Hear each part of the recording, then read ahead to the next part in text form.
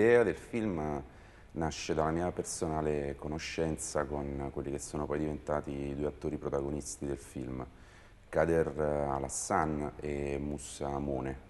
Sono due ragazzi africani che sono qui in Italia da almeno una decina di anni, abitano a Napoli. Da lì la voglia assieme a loro di raccontare in qualche modo una storia che fosse esemplare della, delle difficoltà che affronta un ragazzo africano quando viene da noi. Eh, infatti il cast è completamente composto da attori non professionisti, anche se secondo me si sono rivelati estremamente efficaci.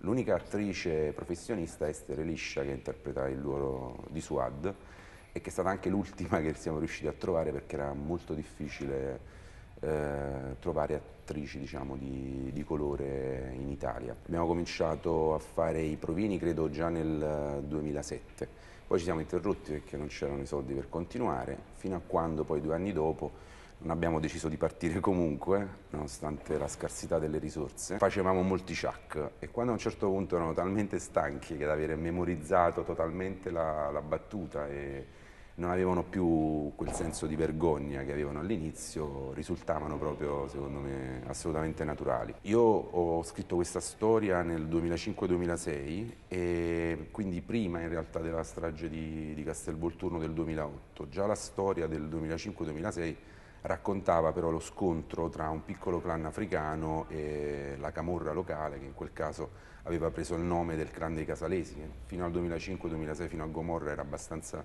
sconosciuta. Appena mi rivolgevo a un produttore, gli dicevo voglio fare un film su un ragazzo africano che, che viene qui da noi a Castelvolturno, scattava automatica la risata. e, cioè, I produttori ritenevano che non, non fosse un, un, film che la gente diciamo, sarebbe andata a vedere al, al cinema. Ho comunque trovato a un certo punto Dario Formisano, eh, produttore napoletano ma che sta qui a Roma da, da una ventina d'anni, che ha creduto comunque nel progetto, poi si è aggiunto Gaetano Di Vaio di Figli del Bronx a Napoli e infine Gianluca Curti. Insieme diciamo, sono riusciti a, a trovare quel minimo budget con il quale abbiamo deciso di partire. È stato importante un finanziamento della Regione Campania, quel minimo che che ci ha consentito comunque di, di, partire con le riprese, anche perché era scaduto quasi il termine, quindi dovevamo girare, se no perdevamo quel finanziamento, abbiamo deciso vabbè partiamo, facciamo, vediamo come va a finire. La gente spesso pensa che l'autore del film sia un regista africano, proprio perché non è abituata all'idea in qualche modo di una storia che sia totalmente interna al, al mondo dell'immigrazione come appunto l'Abba.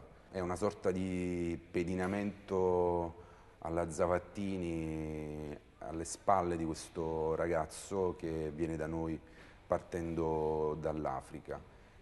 A me questo punto di vista che a molti è sembrato diciamo, innovativo o diverso, in realtà sembra quello più automatico. Nel momento in cui si vuole fare un film sulla mafia italo-americana, eh, si fa un film come Il Padrino, non uh, si racconta la storia del, dell'uomo della middle class americana che entra in contatto con la mafia italo-americana facendo una camminata per Little Italy.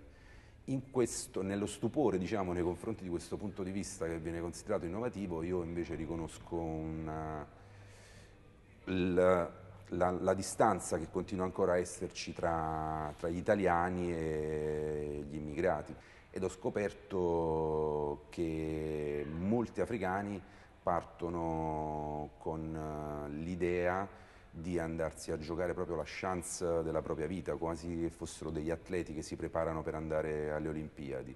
Nel momento in cui spesso, come capita spesso, eh, le difficoltà sono insormontabili e quindi non c'è una vera possibilità di realizzare i propri sogni e ehm, la realtà è molto diversa dalle aspettative con cui si parte, si prova un profondo senso di, di vergogna. E per cui ho scoperto che spesso i racconti che fanno gli africani di come si vive realmente in Italia o in altri paesi di immigrazione è molto diverso dalla realtà. Questo ovviamente non fa che alimentare poi il, un nuovo flusso migratorio. L'esempio, diciamo, l'episodio che mi hanno raccontato, che mi ha colpito di più, e quando mi hanno detto che ci sono alcuni africani che non riescono nemmeno a partire dalla, dalla Libia eh, ad attraversare il Mediterraneo e magari si stabiliscono lì e raccontano nelle loro telefonate di essere in Italia, che va tutto bene.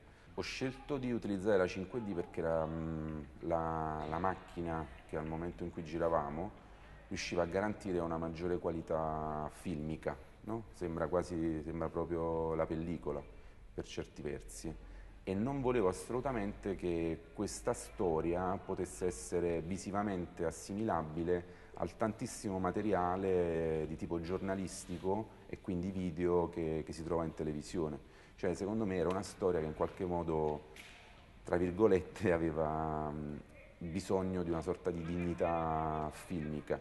Quasi ogni scena credo sia stata girata cercando di adeguarmi a quello che raccontava eh, la scena ci sono dei momenti rispetto agli altri particolari in cui l'azione sembra rallentare quasi in una sorta di visione onirica.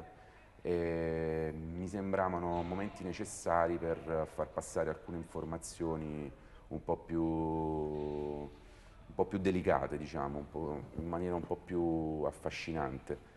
E in questo caso mi ero, mi ero, visto un po' di film di Tarkovsky dove ci sono queste lunghe carrellate oniriche che in qualche modo ho cercato di, di riportare anche in questo film nonostante l'argomento fosse totalmente diverso. Diciamo.